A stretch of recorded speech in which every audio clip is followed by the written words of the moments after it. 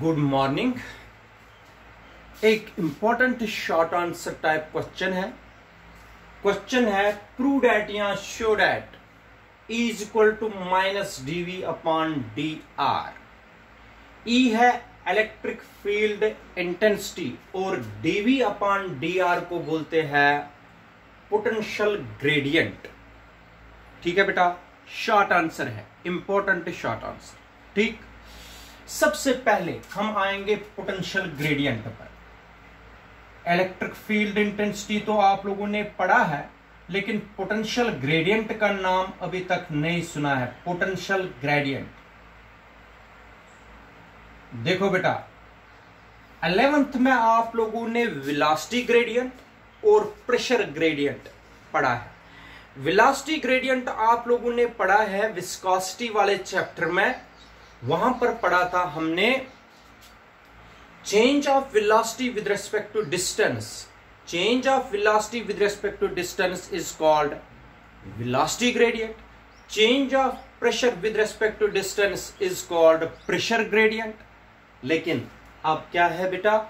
Potential gradient change of potential potential DV है. Change of potential with respect to distance potential upon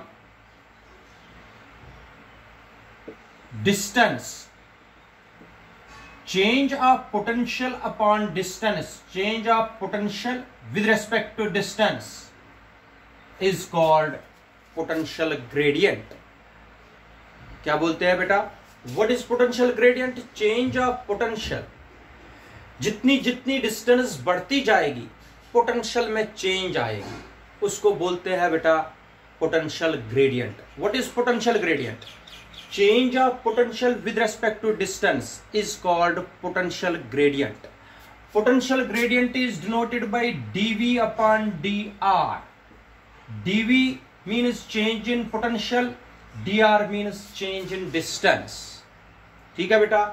DV upon D R means potential gradient अगर आप लोगों को paper में define potential gradient आ गया तो potential gradient कैसे define करोगे आप लोग? Change in potential with respect to distance is called potential gradient it is represented by DV upon D R and it is S I unit is volt per metre change in potential हो गया volt distance का हो गया metre volt per metre is the unit of potential gradient potential gradient याद रखना, v upon m या v m raise power minus one ये हो गया पोटेंशियल ग्रेडियंट के बारे में। ठीक है बेटा? अब, हमें निकालनी है relation between electric field intensity and potential gradient potential gradient तो हमने डिस्कस किया है। Now we will derive the relation between electric field intensity and potential gradient. ठीक है बेटा? इज़ इट ओके शाबाश बेटा। आगे बढ़ेंगे। रिलेशन निकालने के लिए आप लोगों को क्या करना है बेटा? ऐसा क्वेश्चन हमने पहले भी किया। एक पॉइंट लेना है ओ और इस पर रखेंगे हम एक source charge plus Q source charge मैंने रखा बेटा ओ पर उसको क्या मैंने माना? प्लस क्यू ठीक है बेटा? इसका इलेक्ट्रिक फ़ील्ड ये तो बहुत दूर तक जाएगा अप टू इन्फिनिटी तक। ठीक है? इसके इलेक्ट्रिक फ़ील्ड में हमने एक पॉइंट ए लिया। ठीक है बेटा? इस पॉइंट ए पर हमने एक टेस्ट चार्ज क्यू नॉट रखा। क्या रखा बेटा? Q naught. अंडरस्टैंड करिए। Test charge Q naught. Test charge Q naught. को मैंने किसके इलेक्ट्रिक फ़ील्ड में रखा? सोर्स चार्ज के इलेक्ट्रिक फ़ील्ड में।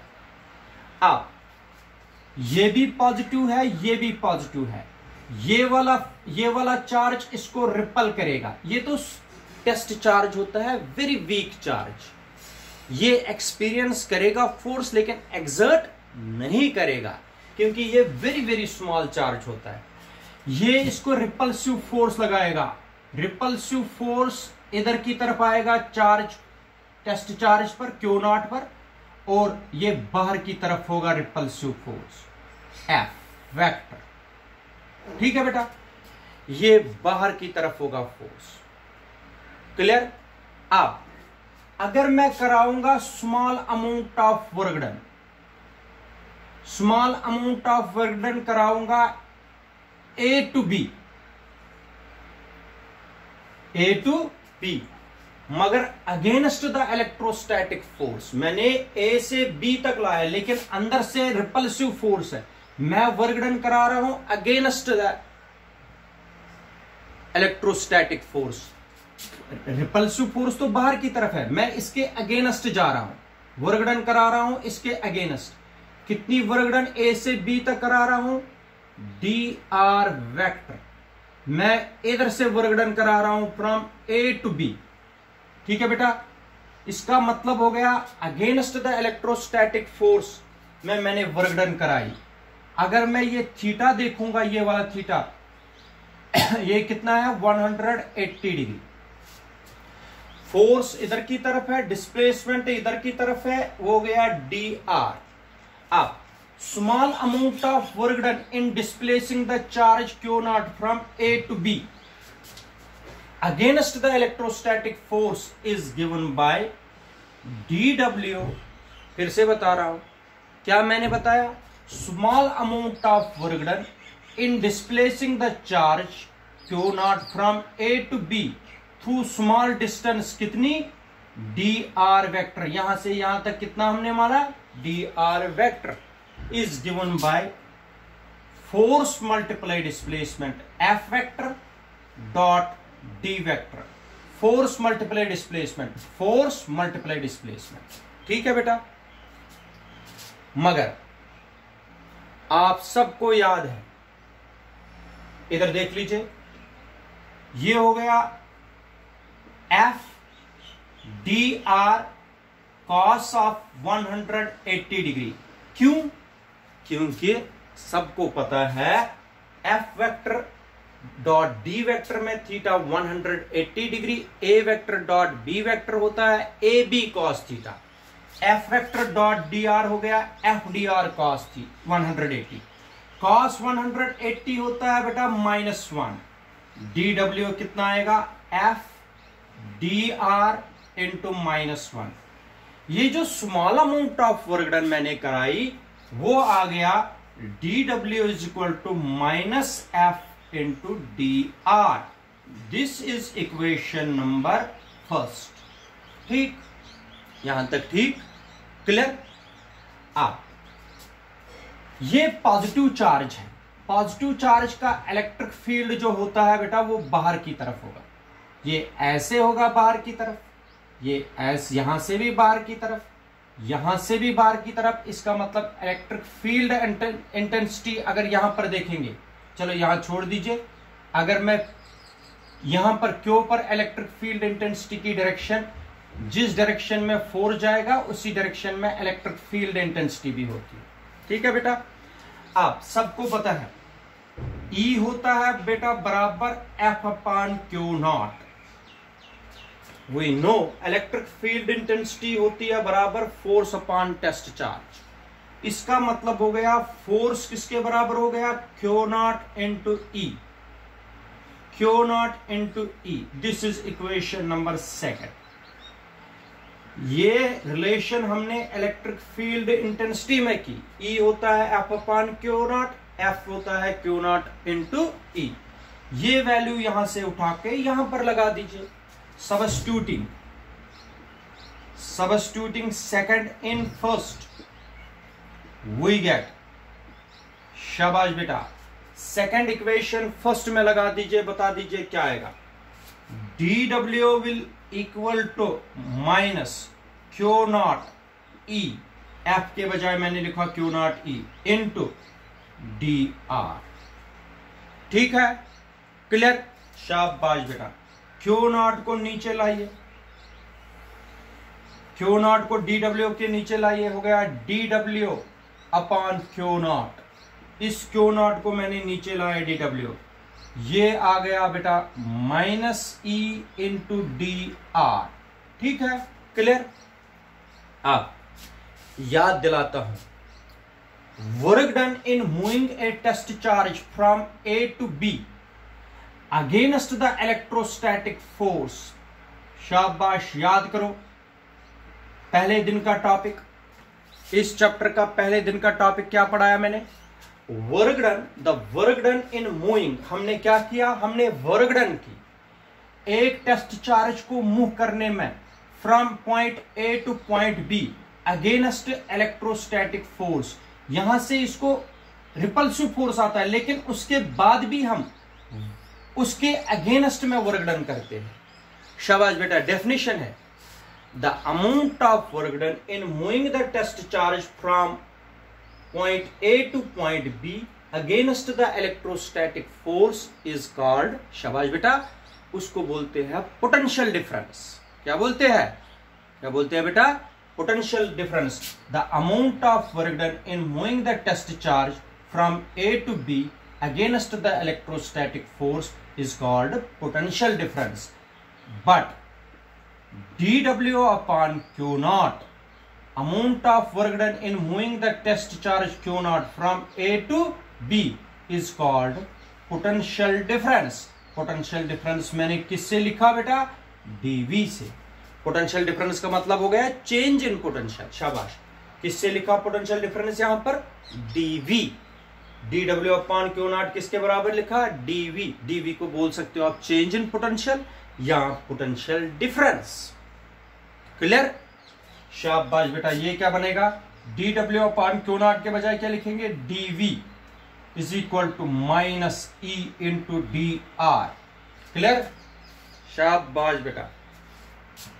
डी आर को नीचे लाइए। हो गया DV upon D R is equal to minus E शाबाश माइनस से मल्टीप्लाई करो थ्रू आउट ये बन गया E is equal to minus D V upon D R this is required relation between electric field intensity and potential gradient. Clear बेटा ये electric field intensity और potential gradient के बीच में रिलेशन आ गई। फ़ेमस रिलेशन है। बहुत ही इंपॉर्टेंट रिलेशन है। एक चीज़ आप लोगों को मैं यहाँ पर बताता हूँ। यहाँ पर स्क्रीनशॉट खींचे और अपनी रफ वर्क मैं हमेशा बोलता रहता हूँ। रफ वर्क पहले, फिर फिर कॉपी पर लिखोगे। ठीक है बेटा? थोड़ा सा आप लोगों को मैं यहाँ पर बताता हूँ। इधर देख लीजिए बेटा। Electric field intensity E is equal to minus DV upon D R है। क्लियर करना। इलेक्ट्रिक फ़ील्ड इंटेंसिटी का यूनिट होता है F upon Q F upon Q इसका यूनिट होता है Newton per coulomb electric field intensity का ऐसा यूनिट क्या है? न्यूटन पर कूलम शाबाश। DV upon D R potential gradient potential gradient का होता है वोल्ट पर मीटर आज के बाद याद रखना न्यूटन पर कूलम हो गया न्यूटन पर कूलम ऐसे भी लिख सकते हैं। वोल्ट पर मीटर ऐसे लिख सकते हैं। Volt per metre is also the unit of electric field intensity clear करना। कभी ये आप लोगों को डाउट में डालने के लिए ये होता है, वहाँ पर कई ऑब्जेक्टिव होगा। The unit of electric field intensity is the unit of electric field intensity is वहाँ न्यूटन पर कूलम नहीं होगा, वहाँ इसमें होगा। First option volt metre per metre square second volt per metre third volt metre, fourth, none. देखो बेटा, Newton per coulomb तो है ही नहीं कहीं, लेकिन और भी एक यूनिट है, जो आज आप लोगों को पता चला। Electric field intensity the other unit of electric field intensity is शाबाश volt per metre volt per metre is other unit of electric field intensity and the unit of electric field intensity and potential gradient is same clear और potential gradient और electric field intensity में है famous relation is equal to minus D V upon D R clear याद रखना बेटा। This is very very important short answer for you okay my dear students इसको learn करिए, अच्छी तरीके से समझिए रफ वर्क करिए कॉपी पर लिखो, आसान बनेगी फिजिक्स